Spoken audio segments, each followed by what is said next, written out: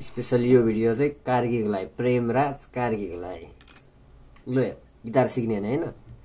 सुरुमा गिटार सिक्ने बेला जहिले नि गिटारको तारहरू याद हुनुपर्छ है पहिला सुरुमा। हेर यहाँबाट एक गनिन्छ है। एक दुई तिन चार पाँच छ सबैभन्दा पातलो एक। यहाँबाट हुँदै एक दुई तिन चारमा छ छवटा स्ट्रिङ हुन्छ होइन? अनि त्यसपछि लगाएर अर्को बुझ्नुपर्ने हामीले कुरो गिटार सिक्दाखेरि fret Fred board Fred board भन्छ है यो कोठालाई चाहिँ कोठा कोठालाई फ्रेड बोर्ड अहिले यति बुझ्दा हुन्छ।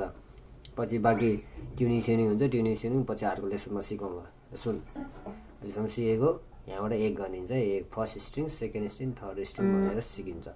तर कोही कोहीले युट्युबमा सिकाउँदाखेरि इएडिजिबिई भनेर भन्छ है माथिबाट इ ए डी जी स्ट्रिङ हुन्छ है। छवटाको स्ट्रिङको नाम हुन्छ। यो स्ट्रिङको नाम याद गर्नु होला एकदम याद गर्नै पर्छ।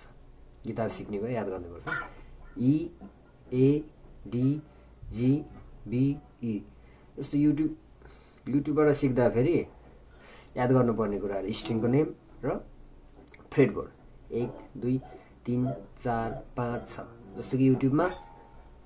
युट्युबमा कसरी सिकाउँछ? फर्स्ट फ्रेडको फर्स्ट स्ट्रिङ समात्यो भने फर्स्ट फ्रेडको फर्स्ट फर्स्ट स्ट्रिङ समात्नु पऱ्यो यसरी। अनि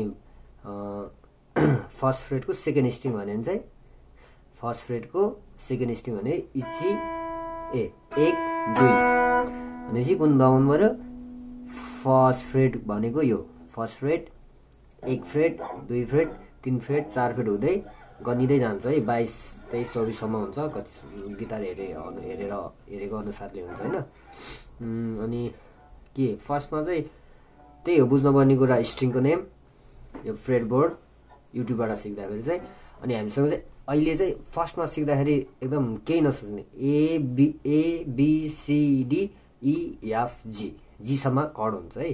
कड भन्ने चाहिँ हाम्रो तिनवटा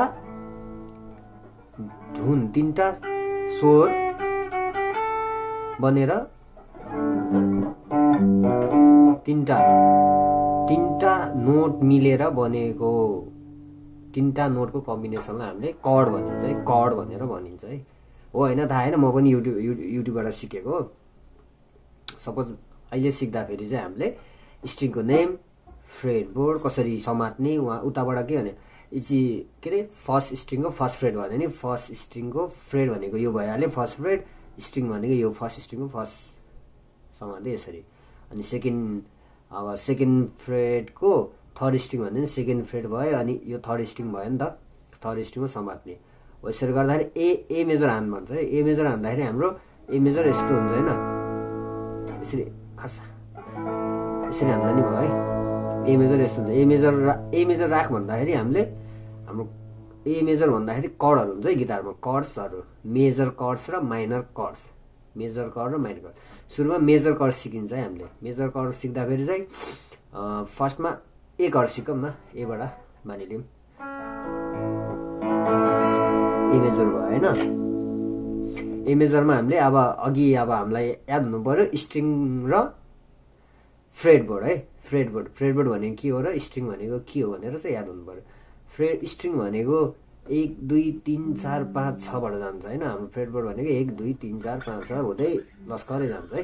अब ए मेजर राख भन्यो भने ए मेजर चाहिँ हाम्रो यस्तो हुन्छ भनेर भन्छ युट्युबमा ए मेजर चाहिँ हाम्रो सेकेन्ड फ्रेडको सेकेन्ड स्ट्रिङ सेकेन्ड फ्रेडको थर्ड स्ट्रिङ र सेकेन्ड फ्रेडको फोर्थ स्ट्रिङ